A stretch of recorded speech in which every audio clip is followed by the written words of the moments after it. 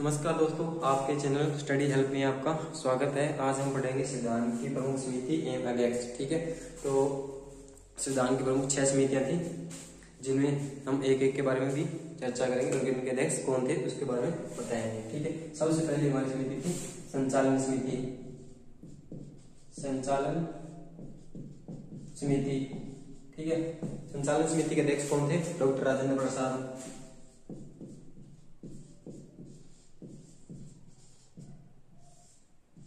doctor Rajendra Prasad.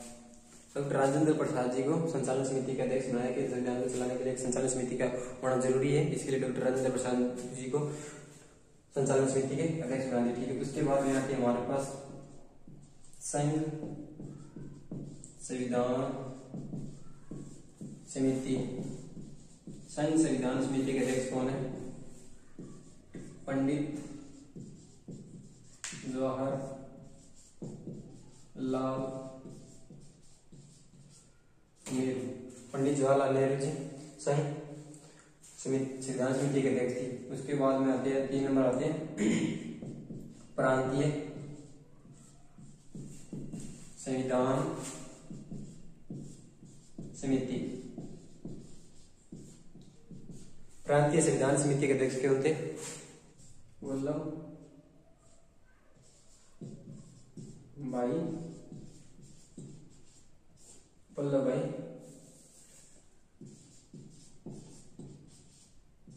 Patel, ठीक है?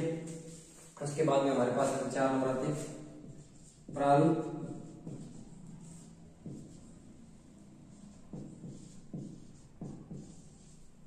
प्रारूप समिति। डॉक्टर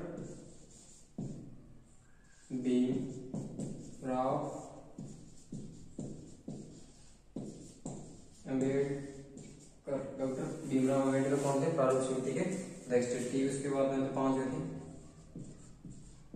झंडा। झंडा समिति झंडा समिति के कौन थे? J, B, Kripalani. J, B, Kripalani किसके थे, झंडा समिति के। झंडा समिति के अध्यक्ष थे उसके बाद छह छोटे थे। संघ शक्ति, समिति संघ समिति के अध्यक्ष कौन थे? पंडित, जवाहर, लाल, नेहरू। पंडित, जवाहरलाल नेहरू। ये अपने पास छह समितियाँ थी जी प्रमुख समिति थी, इसके अध्यक्ष कौन थे?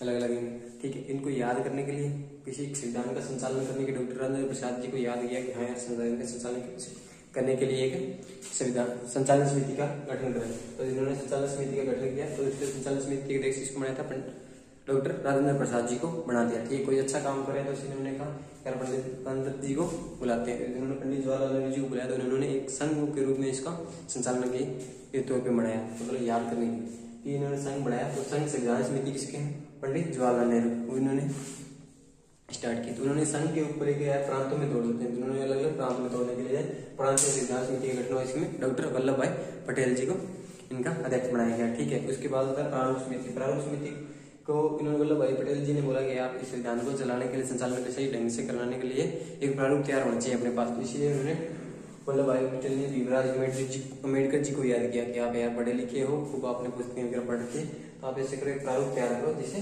संविधान का संचालन कैसे ढंग से किया जा सके उन्होंने संविधान का प्रारूप तैयार किया। तो इसे प्रारूप समिति के अध्यक्ष किसको बनाया था डॉक्टर भीमराव अंबेडकर जी को। ठीक है उसके बाद आता है हमारे पास झंडा समिति।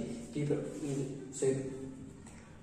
डॉक्टर भीमराव अंबेडकर जी द्वारा अंबेडकर जी द्वारा जो प्रारूप तैयार किया था, उससे प्रसन्न होकर जे बी कृपलानंद जी ने इसको झंडा दिखा दिया। मतलब ये इनको प्रसन्न प्रसन्न हो गई कि ये अच्छा लगा, इनके जो प्रारूप तैयार किया था, वो सुव्यवस्थित था।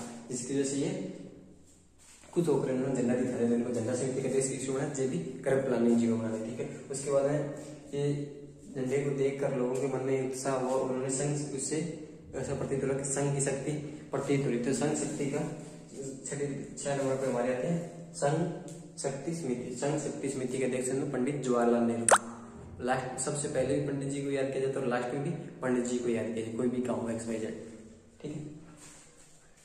अगर हमारी वीडियो आपको अच्छी लगी तो लाइक एंड शेयर ज़रूर करें। मिलते हैं नेक्स्ट वीडियो में, तब तक के लिए धन्यवाद।